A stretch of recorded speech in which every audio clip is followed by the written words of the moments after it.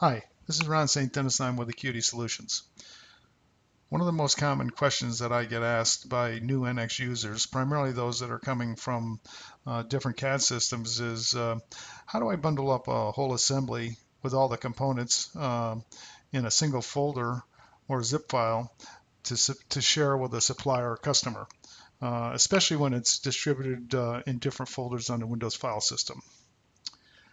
So the easiest way to do that is with the uh, assembly clone command. Uh, it's a command that uh, needs to, it works from within NX, so it needs to have NX loaded. You do not have to have an assembly loader. You don't have to have part file uh, loaded because it will come up right here. You can you can uh, you can use the command finder to um, to find clone assembly, or you can it's right here under the men menu under assemblies under cloning. So there's two there's two options here. We're in native mode here. We're, we're operating in uh, native NX, so we're not in manage mode. We're not in Teamcenter. So there's only two options here. One is to create a clone assembly, a copy, and the other one is to edit an existing assembly. And I'll talk about both of those. Uh, the other two options that would be available in a manage mode in Teamcenter would be uh, import assembly and export assembly.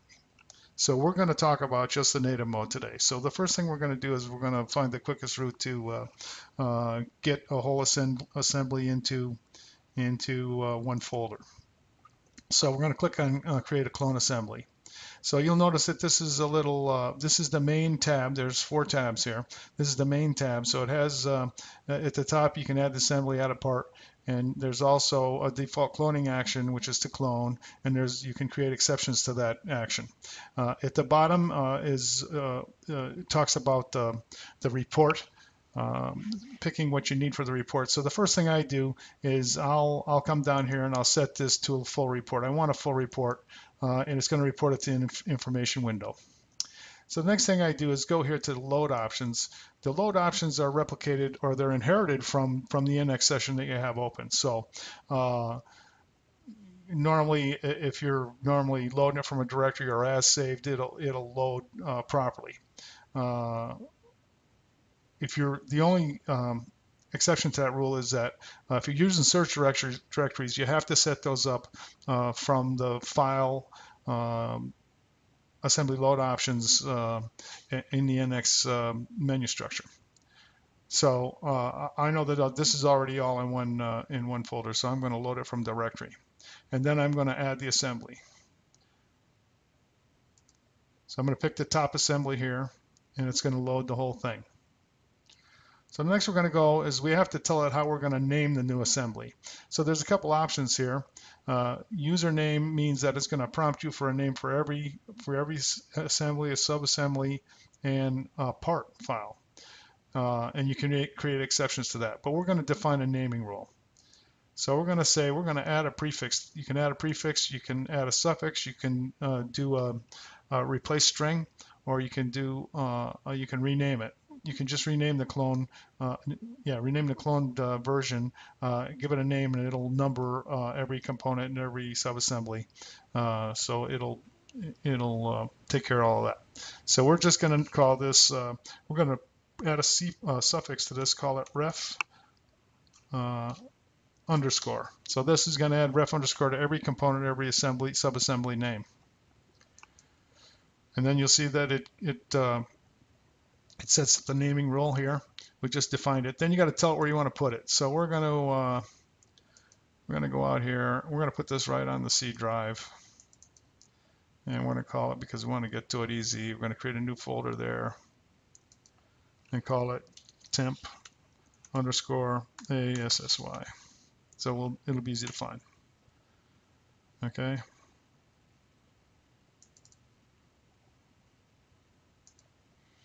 So here you can see it, it's set there. So here, if you wanted to create a log file to save the output, um, the text output that uh, that tells you everything that it did, you can. Here's where you specify the output log file, uh, and you can also load and apply an existing log file. So now that we've gone through these three tabs, we're going to. Uh, I want to go back to naming here and just talk about exceptions very briefly. So when you go in here to exceptions, it'll give you all the components and it's going to apply the default naming rule or the name default uh, uh, clone naming, which is the name the naming rule that we created to each one. So if we wanted to change one of these, if we wanted to give it a username, we could put it here. And this, and then if we hit apply here, it's going to ask us for a name. We're not going to do that in this case. We just want to make a clean copy with uh, with a suffix added to it. So let's go back to the main here. Well, I'm going to talk about one more thing. The default cloning action is to clone here. Uh, you can add an exception to that as well.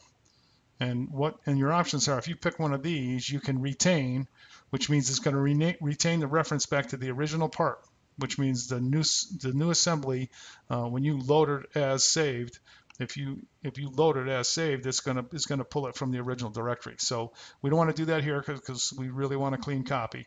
The other option here is to replace. So you could actually replace a part with another part at this point. And, and when you do that, it's gonna it's gonna prompt you for a part. So that's uh, just a little note on the two exception uh, uh, boxes that you can choose. So when we're ready to go here, and I think we are ready to go, we're going to uh, we're going to go we're going to uh, we're going to dry run this, and when you do that, it's going to give you it's going to give you the information window that's going to tell you what it's going to do. These are, there's a line in here for each part. It tells you what part it's taking and what, what it's going to rename it to and where it's going to put it. Okay, so we can close that. And now the dry run is turned off. We can execute this, and it'll give you the same information window. This time it's done it. So now if we go, um, we go to our File Explorer here.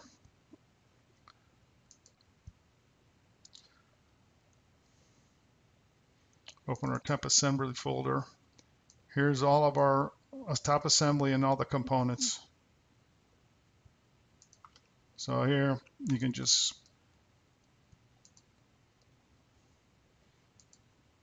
you can clone, you can uh, zip that up and you're and you're ready to send it off. So if, if any in if, if you want to start over at any time during this process, you can just hit clear and it clears out everything and you can go through the steps again.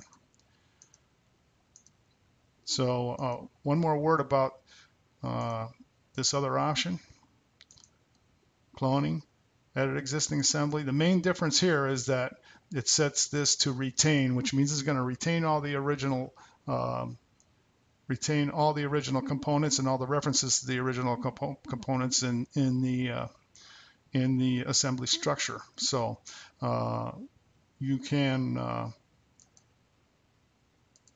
you can you can actually replace components here, right? So if you wanted to uh, edit uh, an existing structure and replace a component, you could do it right here instead of loading the part, replacing it from the from the um, assembly uh, manager and then uh, doing a file save.